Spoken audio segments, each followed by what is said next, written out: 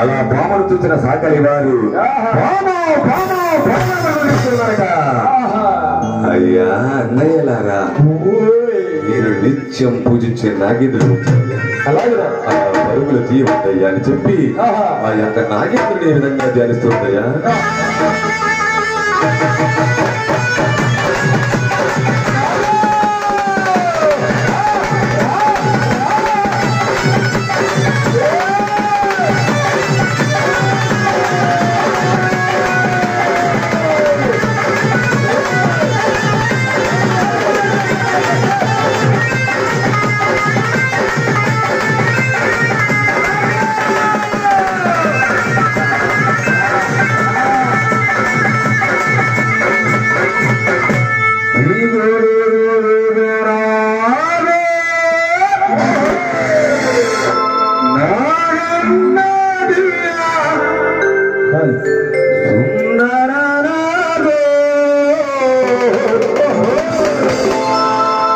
Oh.